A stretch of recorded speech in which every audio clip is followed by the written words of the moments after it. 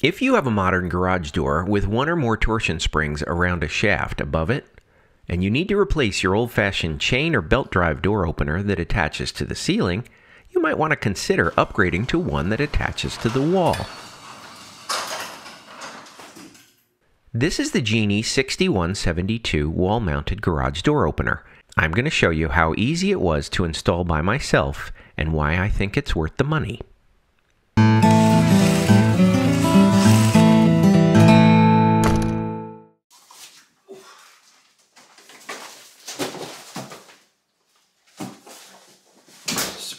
Small box. My old chain drive door opener was on the fritz and out of warranty, so I wanted to replace it. I did some research and decided I wanted to try a wall mounted garage door opener because they are quieter and they allow me to take better advantage of the overhead storage on my tall ceiling. I looked at four models of wall mounted openers. The LiftMaster is essentially the same as the Chamberlain, and they both have a wired door control button and separate devices for Wi Fi and to monitor the cable tension. I decided to go with Genie for two reasons.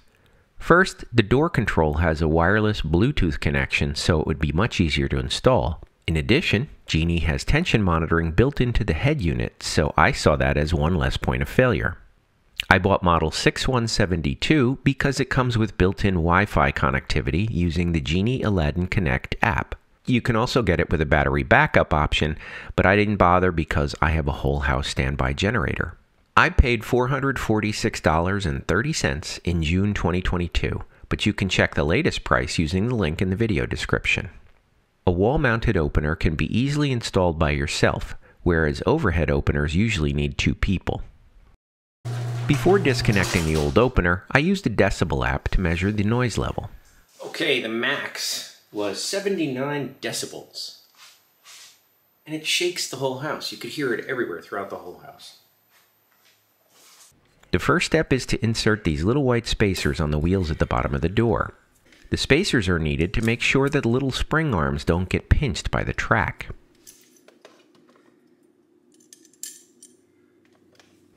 The spring brackets come with self-drilling screws. I installed them into empty holes on my roller bracket to make things easier on me.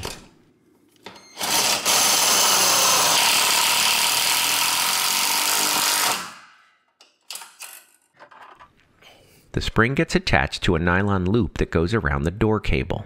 These get installed on both sides. Next, I gave it a test to see how it closes manually.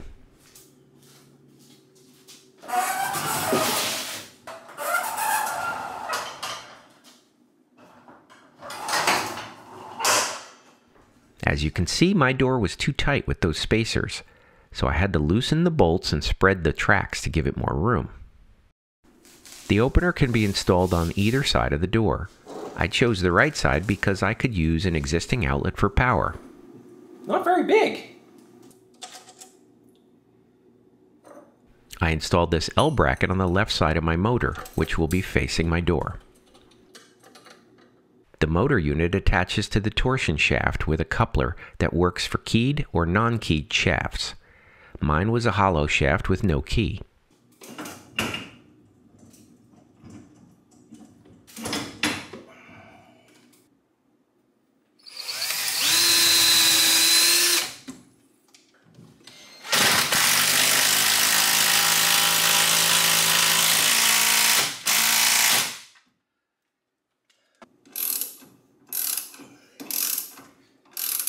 With a level on top, I made sure the unit was straight before securing the L bracket and coupler bolts. With the emergency release pulled, I gave it another manual test.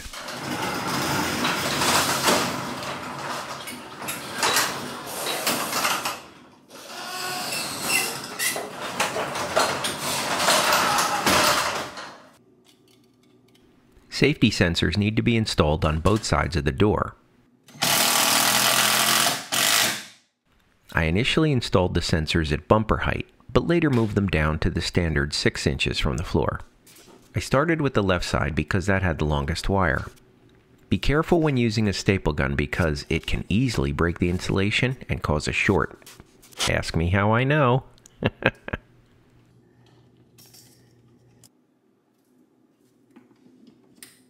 If the sensors are installed correctly, they should both be solidly lit without blinking. The light kit is wireless, so you can install it anywhere close to a power outlet. The door control is also wireless and battery powered for complete flexibility. You can see my old door control was behind this refrigerator, so I decided to put the new one on the other side.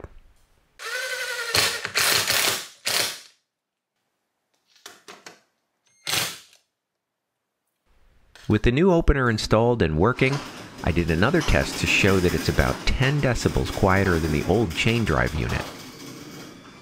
It's so quiet that the dog doesn't hear it opening inside the house.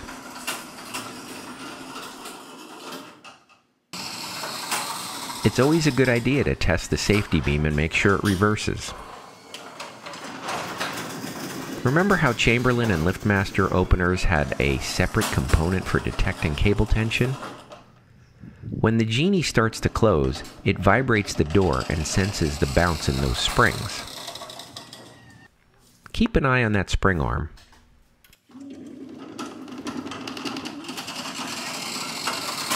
That bouncing is an ingenious way to ensure the door isn't stuck at the top as the shaft starts turning.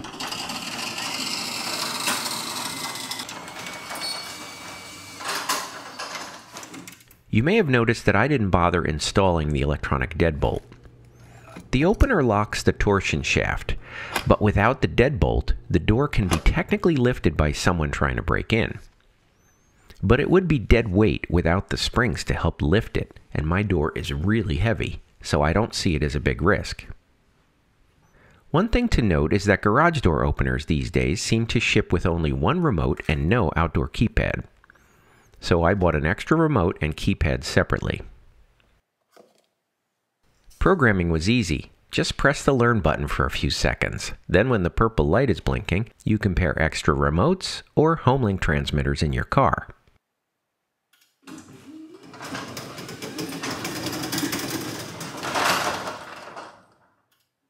This Genie unit has built-in Wi-Fi, which I set up using the Aladdin Connect app on my phone. I have it set to get notifications when the door opens, closes, or detects errors.